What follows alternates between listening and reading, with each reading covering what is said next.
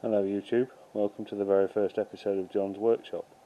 What should be immediately apparent is Jon doesn't have a workshop. John has got a mess in front of him that he needs to turn into a workshop. Um, I live in Scotland, it's a very damp part of Scotland. I've got a single garage which is incredibly damp, uh, damp walls, window that leaks at the back that needs fixing and several pieces of machinery I've collected over time that are just going rusty in the garage that I need to um, I need to fix. So this is the start of the journey. Uh, it's taken a while to get this far. I've had to build uh, this shed next door um, to house all of the rubbish that uh, I had in my garage. That meant I couldn't even get in the door. And the rubbish that you see in front of you that's left is all engineering type stuff that needs to stay in here um, to form a workshop and on the left I bought some timber to board the walls out to try and cover up the dampness. Moving into the garage, uh, looking in a bit more detail um, at the uh, equipment, so you'll see uh, there is a Denford Viceroy uh, lathe. Um, it's very old, uh, circa 19 50s, I think. It came out of the uh, Windsor School for Boys, so it was in a uh, in a school training environment, and uh, it's got the, uh, the, the telltale signs of that in terms of uh, marks, various marks on the on the bed, uh, just under the chuck, where chuck keys have obviously been um, spun for fun, um, as people tend to do when they don't know what they're doing. Um, above that is a, um, a sort of offhand grinder, a small unit, um, very very old as well, um, but it's uh, it's useful for sharpening tools and drills and bits and pieces like that.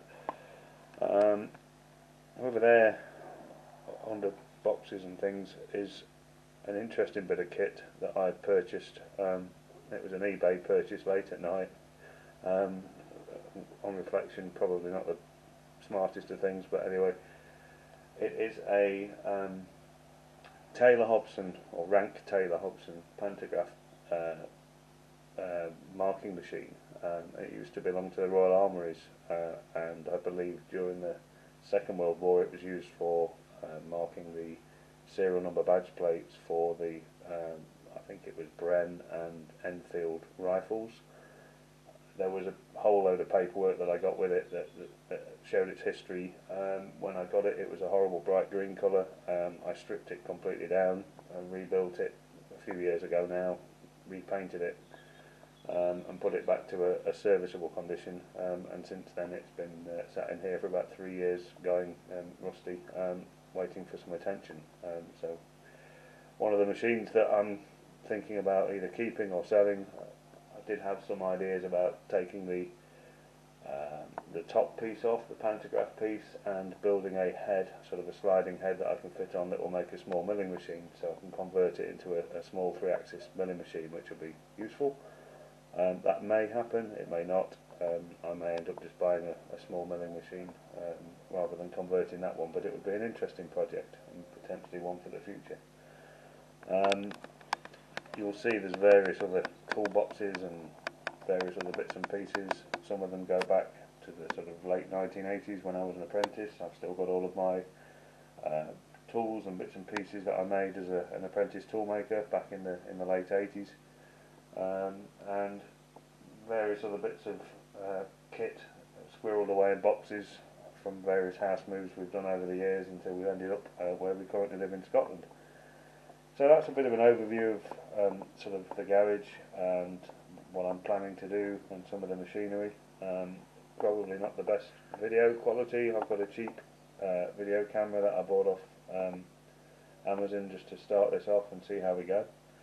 Um, I don't think there's going to be too many videos in the near future because there's obviously a lot of work to do but uh, I plan to try and document um, what I do in, in, videos and hopefully one or two of you will find it interesting. Um, I watch and contribute to various machinist YouTube channels, UK and uh, all over the world really, and um, have done for many years. Um, so if you like watching John Mills Doubleboost and uh, you know and various other workshops like that, you'll hopefully enjoy what you see on this channel at some point in the future.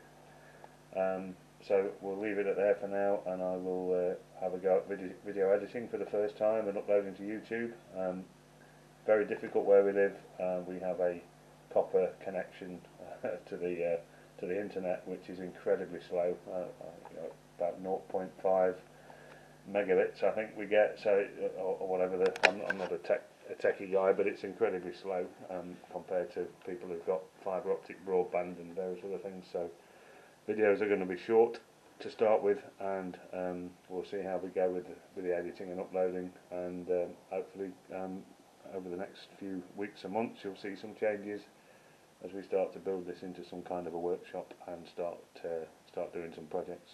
Okay, we'll leave it there for now, and I'll see you on the next video. Thanks for watching.